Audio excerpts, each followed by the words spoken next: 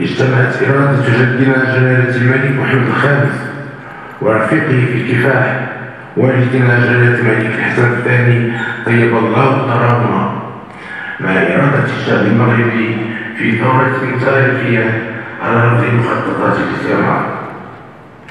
وقد تميزت هذه الثورة المجيدة بروح الوطنية الصادقة وبقيم التضحية والتضامن والوفاء من أجل حرية المغرب واستقلاله وتاريخ المغرب حافل بهذه المواقف والأحداث الخالدة التي تشهد على التلاحم القوي بين العرش والشعب في مواجهة الساعة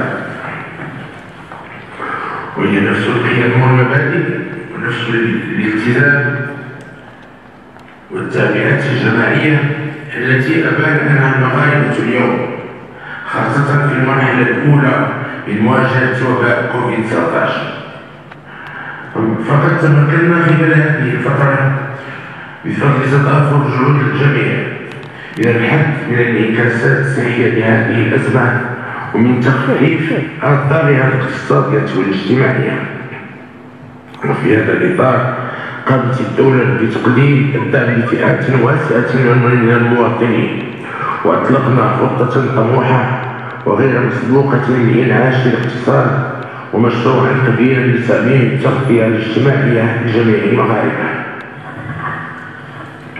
وإننا نؤكد على ضرورة تنزيل هذه المشاريع الوجهة مطلوب وفي الآجال المحددة.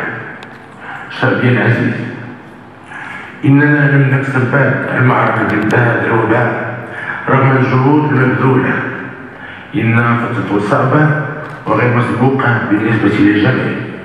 صحيح أنه كان يضرب بنا المثل في احترام التدابير الوقائية التي اتخذناها في النتائج الحسنة التي حققناها خلال فترة الحمل الصحي. وهو ما جعلنا نعتز بما قمنا به. وخاصة من حيث انخفاض عدد الوفيات وقلة نسبة المصابين مقارنة بالعديد من الدول.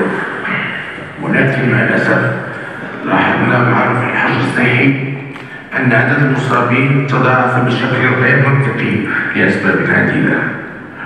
فهناك من يدعي بأن هذا الوباء غير موجود وهناك من يعتقد بأن رفع الحجر الصحي يعني انتهاء المرض انتهاء المرض.